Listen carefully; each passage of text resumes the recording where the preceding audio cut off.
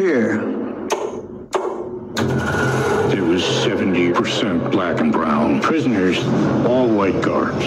What could go wrong? Grab the guards, grab the keys. All hell broke loose. Tell me this, are these primarily blacks? Guys were complaining about the basic things like toothpaste. A roll of toilet paper would last you a month.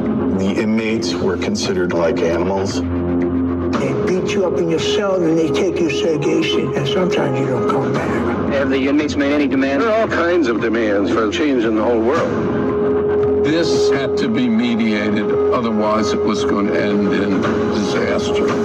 They wanted to use those weapons. Put your hands in the air, and you will not be harmed. You will not be harmed. You will not be harmed. But that was bullshit.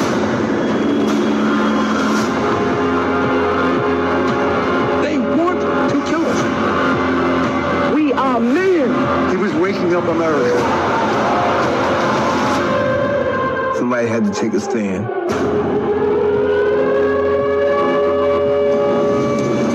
I, listen, I was in Attica too, man. I went to Attica when I was 17, right? So I know, I know when you get there, man, you're like, man, what the hell am I? The cops are asking what they sent you there for. In your mind, you're probably thinking the same thing they're asking you, like this wasn't supposed to happen, man. What what people what people don't know in state prison is when you're from Rochester, man, we're like a gang. You hear me? USGs. We, we stick together, man, and usually don't it don't matter what color you are, none of that shit, man. We're like our own gang, man, and you know we get busy, man. Ro- Rochester dudes are known for getting busy. Let me ask you this though about state prison. See, federal prison is different. I've been in state and federal prison, right? Federal prison, man, it's racially segregated. There's gangs. There's this. There's that. But when you walk in there, man, like dudes embrace. Did the dudes embrace you from the town? Yeah, absolutely. See, I knew a lot. I, I knew a lot of people because you know a lot of us was from you know most people say east side, west side, but where I'm from, you know, the original people like we we call it the north side, like you know Clinton, Hudson, you know places like that in the rock. Um, you know, so like it was a lot of people from the north in there, and uh, I, I was good when I walked in. You know what I mean? I hear you. How about gang affiliation? The Bloods run the pr- run, run the New York State prison system pretty much, right? Yeah, uh, I follow that. You know.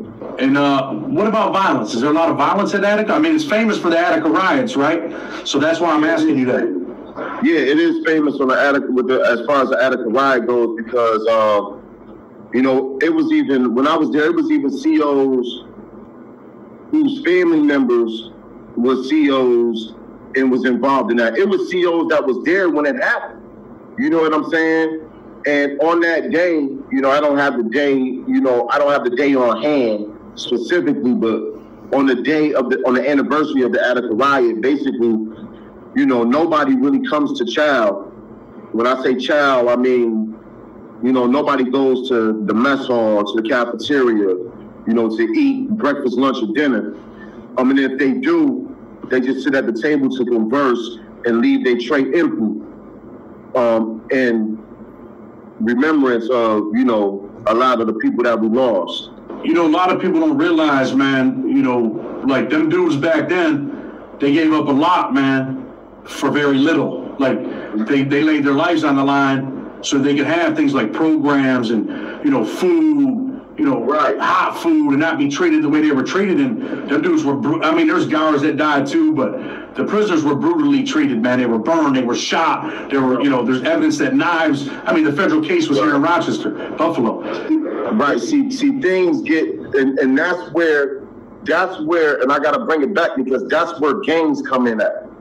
Because back then, when those Attica riots was going on, and there was gangs and there was organizations, you know what I'm saying? People, you know, people call it gangs, but it wasn't really. It, it was a unification. It wasn't really like a gang, gang violence type of thing. These people were who created these organizations were against police brutality. It's been going on for years. They was against oppression. You, you understand what I'm saying? They, they, they was against that type of stuff. You know what I mean? Discrimination and all of that. So they was fighting for their for their rights, for real rights, for what they believed in. You know? some of them, some of them had to fight to eat. Even even when I was there, you know, some some COs just skip your step. They won't even pop your cell to eat. They're dead the whole block on track. You know what I'm saying? They is fighting for. We got phone privileges. We got these flat screen TVs. Now now niggas got iPods and all of this in jail. You know, they getting certain foods. They they they getting visits. These people died and fought for this. They fought for that. They are the reason why we have what we have today. Because they had to take a stand. Somebody had to do it. Nowadays, these dudes is cowardly, and I'm that's just what it is. I spent my whole bed fighting police. I'm gonna let you know that now. You know what I'm saying? I got for real. I got a disciplinary sheet to prove that.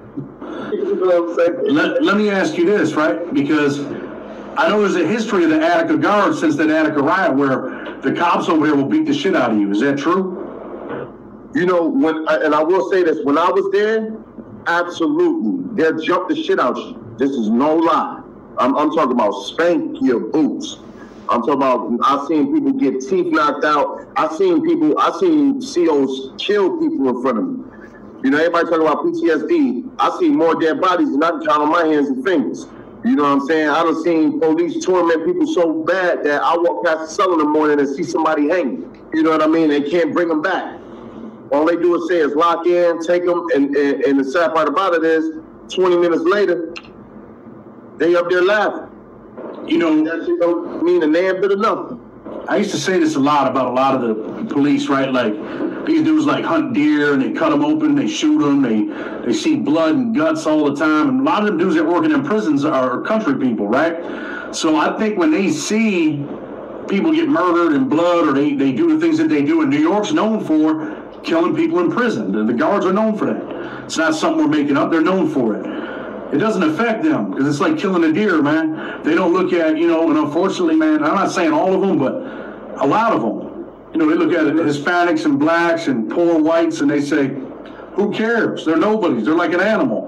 Right. Here's the issue, though. The issue is that these dudes is looking at us like we animals, but these dudes is they the real criminals. They just ain't got caught for it. They get away with murder. Everything that people do out here and go to jail for, they do in prison and get away with it. It's legal for them, but for us, we get locked up. They the worst criminals in the world. You talk.